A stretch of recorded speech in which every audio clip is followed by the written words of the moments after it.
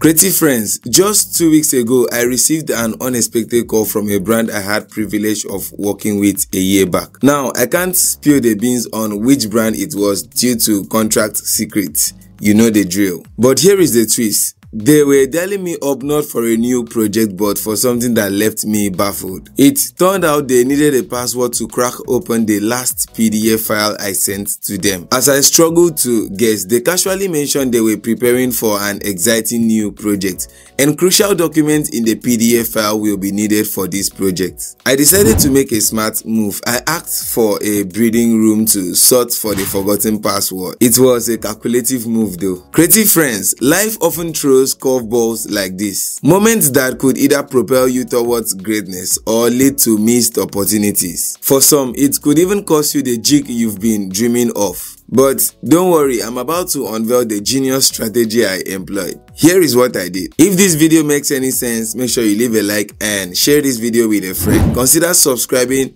if you've not done that yet let's jump straight into it so to unlock any pdf file open up your browser and search for i love pdf.com and open that up. And when you open up the browser it brings us to this landing page where you're going to see a lot of features on this website. So we're going to scroll down to where you see unlock pdf and click unlock pdf it takes us to this page. Then you're going to select PDF file. And when you click on that, select the particular PDF file that has the password. Let me show you this. This PDF file on my PC has been encrypted with a password and I can't access the document. Let's open that up to see what it looks like. So when you open the PDF, it shows us this password. Then we have to enter a password before this PDF file opens up. But with the help of I love PDF, we are going to unlock this file even without the password. And then click on the file you want to remove the password and click on open. And once you do that, it opens up the file. And then you go down to where you have unlock PDF and click on that and it starts unlocking the PDF. Once this is done unlocking, you're going to see download unlocked PDFs. Then click on that